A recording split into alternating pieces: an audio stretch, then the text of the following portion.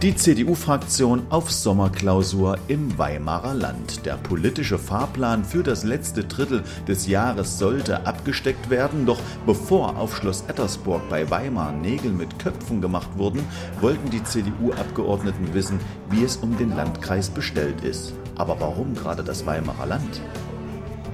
Ich glaube, es war in der Zeit, nachdem Christine Lieberknecht vier Jahre lang Fraktionschefin war und jetzt ich das vier Jahre gewesen bin, dass wir auch mal in unsere eigene Heimatregion gehen. Das ist eine Impulsregion zwischen Erfurt, zwischen Weimar, zwischen Jena, der ländliche Raum, der sozusagen umfasst wird von diesen Städten und mit großen Entwicklungschancen. Und die wollten wir uns heute anschauen.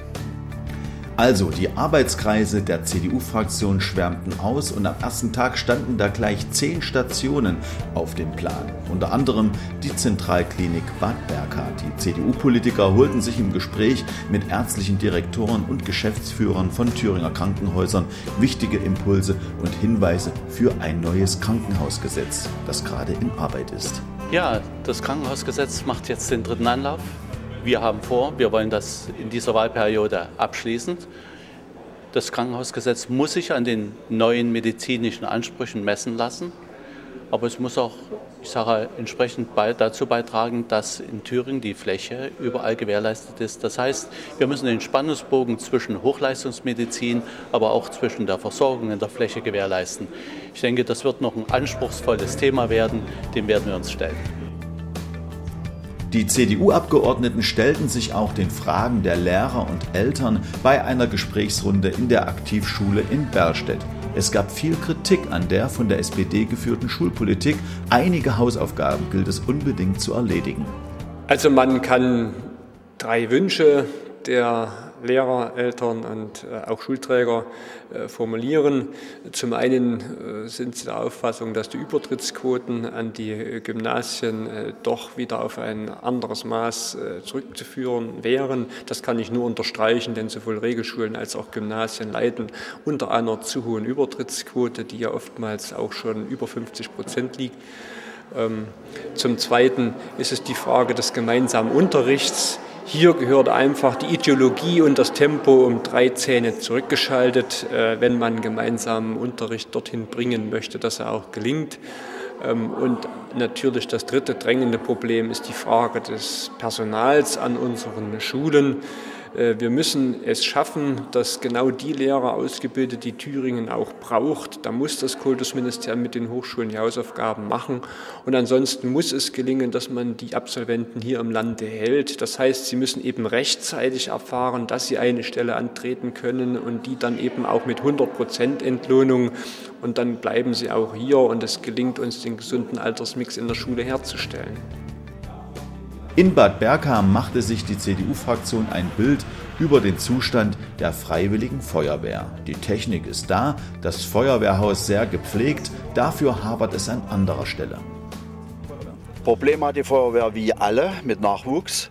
Äh, die sind auch froh, dass wir die Jugendfeuerwehr mit sechs Jahren jetzt beginnen. Aber man muss sie ja zehn Jahre bei der Stange halten, um sie dann erst einmal überhaupt in die Feuerwehr hineinzukriegen. Das wird das Problem, was am meisten steht. Leute, Technik äh, läuft, Leute brauchen wir. Und da gibt es Probleme. Und sie haben uns noch ein paar Dinge mitgegeben, wo wir dann noch einmal intern drüber reden werden, was da noch zu ändern und was zu machen ist. Und es gibt durchaus noch Möglichkeiten, wo die Politik die Kameradinnen und Kameraden unterstützen kann.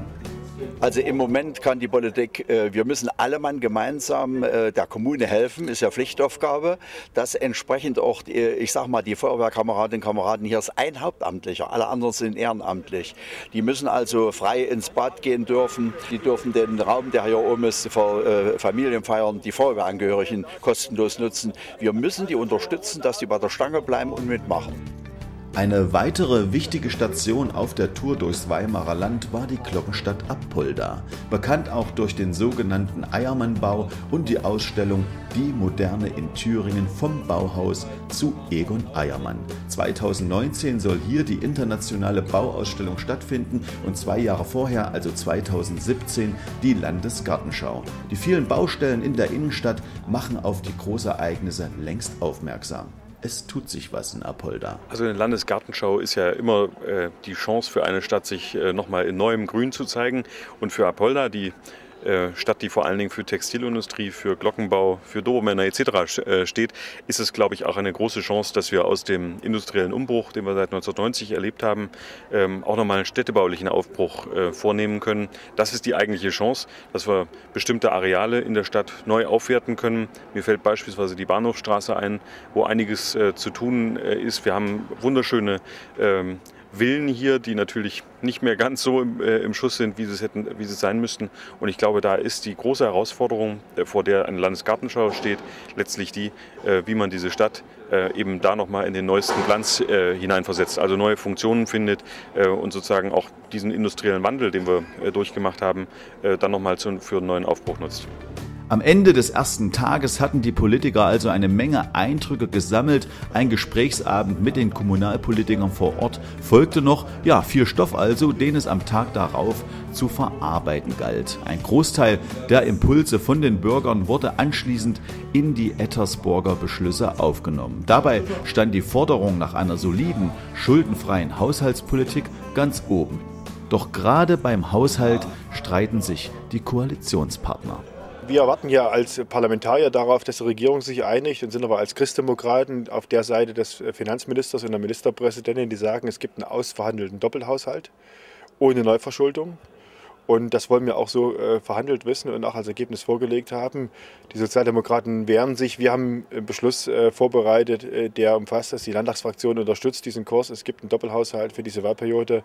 Das schafft Planungssicherheit, das schafft Verlässlichkeit und schafft vor allen Dingen frühzeitige Investitionen in der Wirtschaft. Und darauf kommt es uns an. Ja, und solange es keinen Doppelhaushalt gibt, solange wird der Bart des Fraktionsvorsitzenden wachsen. Ich nehme jeden Tag mit Erschrecken zur Kenntnis, es gibt immer noch keine Einigung und ich muss mir überlegen, ob ich an diesem äh, Prinzip festhalte, dass ich den Bart stehen lasse, bis es einen Doppelhaushalt gibt. Vielleicht habe ich die nächsten zehn Jahre stehen. Der Bart muss ab. Da sind sich, glaube ich, alle Mitglieder der CDU-Fraktion einig.